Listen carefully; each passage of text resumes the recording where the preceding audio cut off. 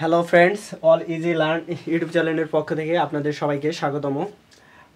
আজকে আমি সুজন রয়। আপনাদের সামনে। আপনাদের সামনে আজকে একটা গুরুত্বপূর্ণ টপিকস নিয়ে আলোচনা করব। সেটা হচ্ছে ফুড ইন্ডাস্ট্রিয়াল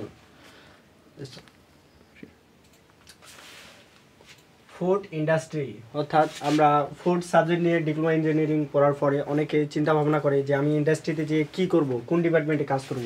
এই টেনশনে অনেকে আবার বিরক্তকর একটা অবস্থার সৃষ্টি হয়। সো এটা নিয়ে কোনো টেনশন করার ব্যাপার না। আমরা আজকে আপনাদের এই ফুড সাবজেক্ট নিয়ে পড়ার পরে আপনারা কোম্পানিতে কোন সেক্টরে কাজ করবেন সেটা নিয়ে আলোচনা করতেছি।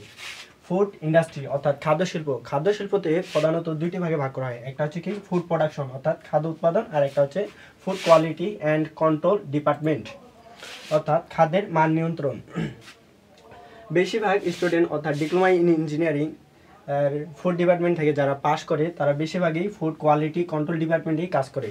কারণ এই ফুড প্রোডাকশন ডিপার্টমেন্টের চেয়েও পদ উন্নতি, অর্থাৎ আমাদের যে একটা জব ক্ষেত্রে সবাই একটা কি গুড স্যালারির আশা করেই কি যে কোনো ইন্ডাস্ট্রিতে কাজ করতে দেয়। সেক্ষেত্রে ফুড প্রোডাকশন অর্থাৎ কি খাদ্য উৎপাদনে যারা কাজ করে, তাদের স্যালারি চেয়ে এবং তাদের কি একটা যে কোম্পানিতে পাওয়ার অর্থাৎ আমরা যেটাকে বলি কি ক্ষমতা এদের চেয়ে এদেরকে বেশি, অর্থাৎ কি, এদের ক্ষমতাটা একটু বেশি, এদের চেয়ে প্রতিফলন ক্ষমতাটা এদের বেশি।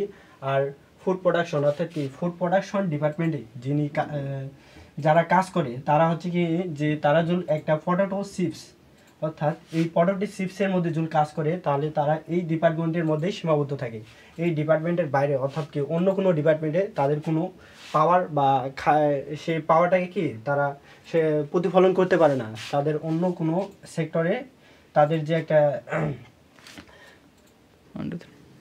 হ্যাঁ বলতেছি যে এই যদি ফুড প্রোডাকশন ডিপার্টমেন্টে কাজ করে তাহলে সে একটা নির্দিষ্ট সীমার মধ্যে থাকবে। বা এই সীমার বাইরে সে অন্য কোনো ডিপার্টমেন্টে যাইতে পারবে না।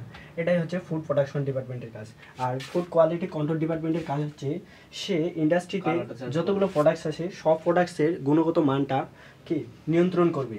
এবং সব প্রোডাক্টসের যাতে সেটা স্বাস্থ্যসম্মত হয় আমাদের শরীরের জন্য বা ঝুঁকিপূর্ণ না হয় সেই কারণে উনি যে কোনো প্রোডাক্টস পরীক্ষামূলকভাবে ব্যবহার করতে পারে।